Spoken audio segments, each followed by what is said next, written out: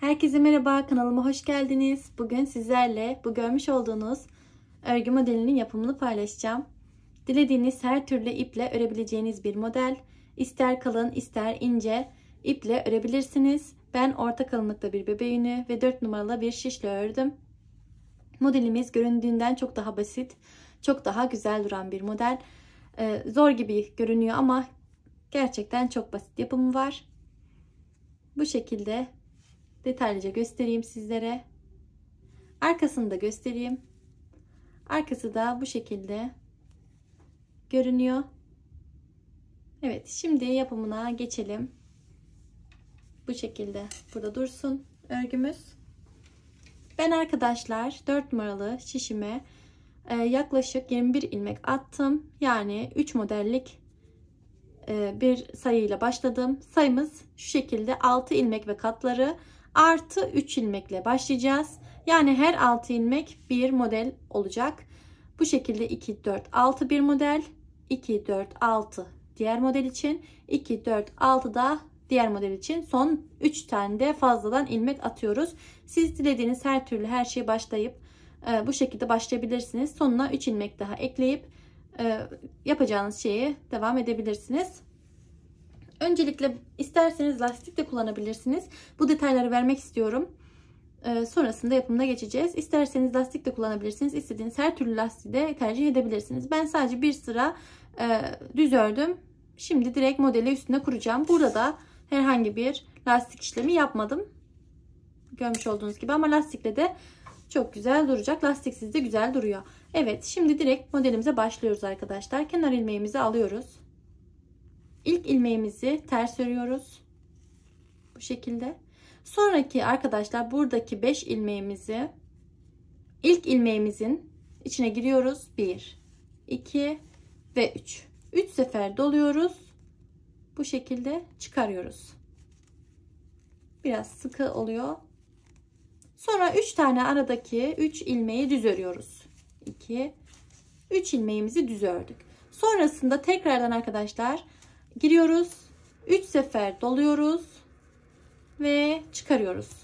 Bu dolama işlemi bu şekilde görünüyor. Evet burası bir model. Şimdi yine ters oluyor arkadaşlar. Bir tane ters örelim. Evet burası bir model oldu. Her modelin arasında bir ters olmak zorunda. Tekrardan arkadaşlar örgümüzün içine giriyoruz. 1, 2, 3 sefer dolayıp çıkartalım. Düz örüyoruz. Tekrar 1, 2 3 örgümüzü normal örüyoruz.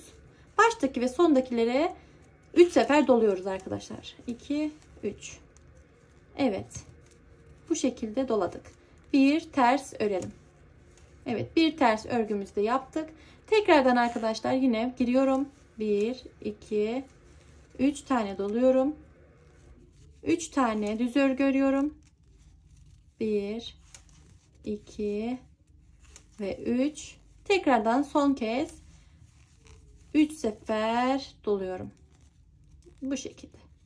Sonra arkadaşlar bir ters. Sonda kenar ilmeğimiz. İlk kurulumu yaptık arkadaşlar. Modelimizin ilk kurulumu bu şekildeydi. Şimdi e, ikinci sırasındayız. İlk sırasını tamamlamıştık. İkinci sırasında da arkadaşlar ilk kenar ilmeğimi aldım bu ters ördüğümüzü, önde ters ördüğümüzü burada düz örüyoruz. O aradaki tersler arkada düz. Bir düzümü ördüm. İpimi kendimden tarafa alıyorum.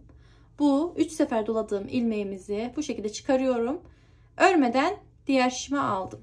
Aradaki 3 tane örgümü orada 3 düz örmüştük. Bunları ters olarak ördüm. Ve yine o 3 sefer doladığım ilmeğimi örmeden aldım. İp kendim benden tarafta. Sonrasında bir düzümü ördüm. Ve yine örmeden aldım. Bu şekilde 3 tane doladığımı örmeden alıyorum ters bir şekilde. 3 tane tersimi örüyorum.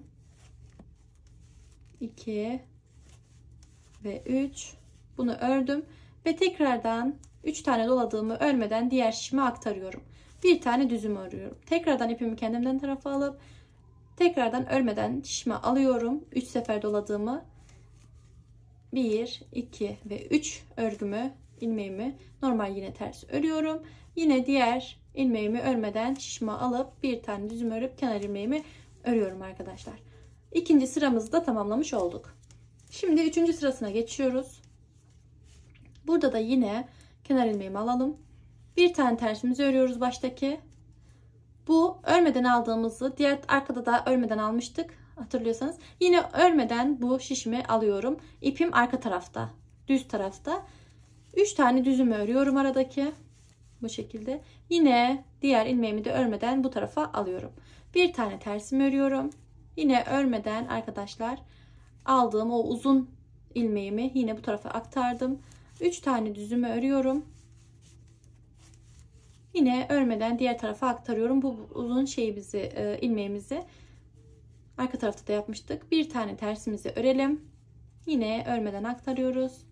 1 2 3 ilmek örüyoruz ve tekrardan o örmeden aldığımızı ön sırada da örmeden alıyoruz.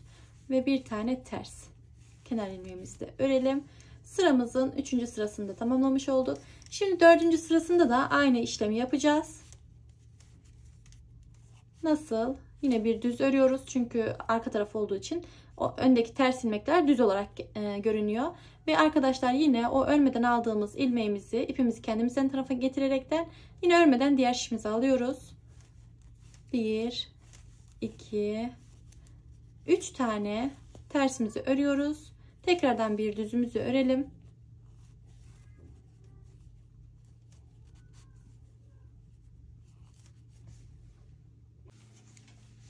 Pardon tekrardan ölmeden alıyoruz şişimizi. Şişimizi ters taraftayken kafam karıştı kusura bakmayın. Tekrardan düz örgümüzü örelim. Bu şekilde. Yine arkadaşlar ipimizi kendimizden tarafa alıyoruz. Ve o örmeden aldığımız yine diğer şişimize aktarıyoruz. 1, 2, 3 tane örgümüzü yine örüp diğer örmeden aldığımızı yine şişimize aktaralım. Bir tane düz örelim. Yine örmeden alalım. 3 aradaki 3 ters ters olarak örüyoruz. Yine örmeden aldığımızı tekrardan şişimize aktarıp düz örüp örgümüzü bitirdik.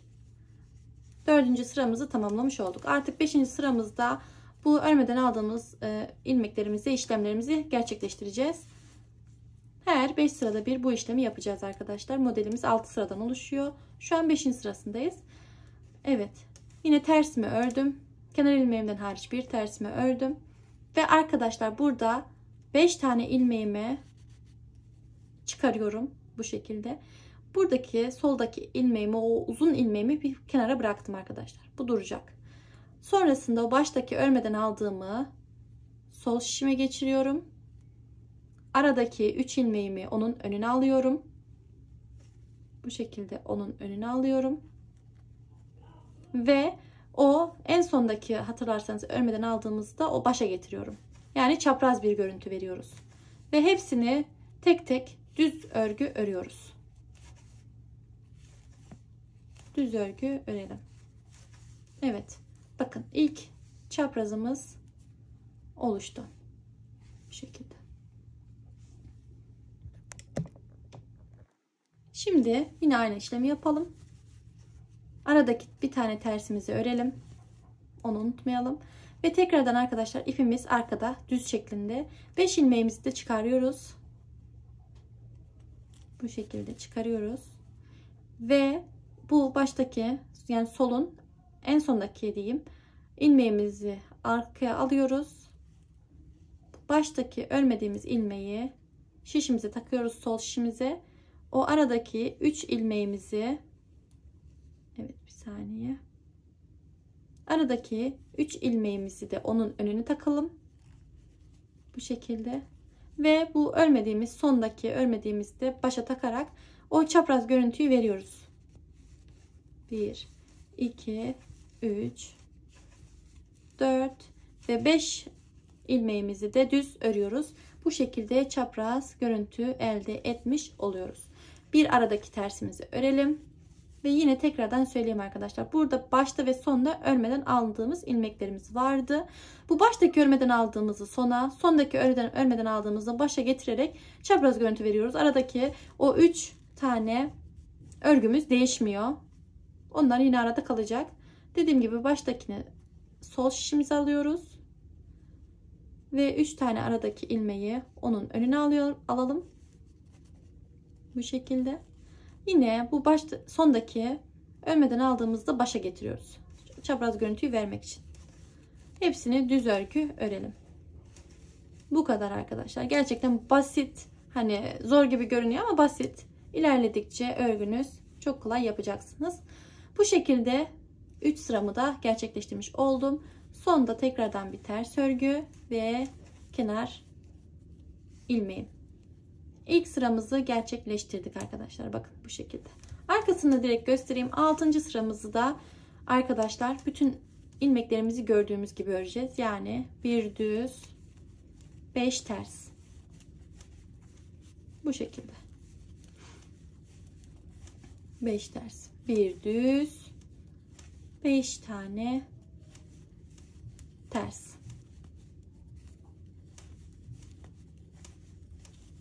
Tekrardan bir düz 5 tane ters. Ve kenar ilmeğimiz e, düz ve kenar ilmeğimiz. Bu şekilde 6 sıramızı da tamamlamış olduk arkadaşlar. Şöyle göstereyim. İlk sıramız bu şekilde. Şöyle şunu büyükten göstereyim. Bakın burayı tamamladık. Şimdi bir üste geçeceğiz. Bir üst içinde nasıl yapacağız? Aynısını aynı sırayı tekrarlayacağız arkadaşlar. Bundan sonra bütün sıraları tekrarlayacağız. Ee, her alt sırada bir oluşuyor demiştik modelimiz. Şimdi tekrardan size bir sıra daha göstereyim. Hızlıca. İlk kenar ilmeğimi aldım. İlk e, ikinci örgümü ters olarak ördüm. Başta yaptığım gibi. Sonrasında arkadaşlar ilk ilmeğimin içine giriyorum. Ve 3 sefer dolayarak düz örüyorum. Aradaki 3 taneyi düz örüyoruz. Ve tekrardan ilmeğimizin içine girip 1, 2, 3 sefer dolayıp örgümüzü çıkalım. Bir tane arada ters. İlk sıramız buydu hatırlıyorsanız. Yine doluyoruz. Aradaki 3 örgü. 3 ilmek düz pardon. Ve 5. ilmeğimizi de dolayarak çıkarttık. Aradaki ters. Biraz hızlı anlatıyorum çünkü başta anlatmıştım. Bunu biraz daha hızlandırıyorum.